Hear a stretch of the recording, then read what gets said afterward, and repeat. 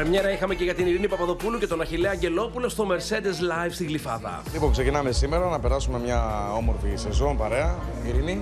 Είμαστε πάρα πολύ χαρούμενοι και πολύ ενθουσιασμένοι ε, που είμαστε κομμάτι σε αυτό το comeback στο νέο ξεκίνημα του Mercedes Club. Κάθε Πέμπτη και Σάββατο σας περιμένουμε εδώ, στο στέκι μας, στη Γλυφάδα. Τηλεοπτικά θα σας βλέπαμε σε κάποιο talent show, κριτική επιτροπή, coach. Α, Κάθε τι τηλεοπτικό που έχει να κάνει με, με μουσική ε, είναι καλοδεχόμενο. Με ενδιαφέρει η τηλεόραση. ναι.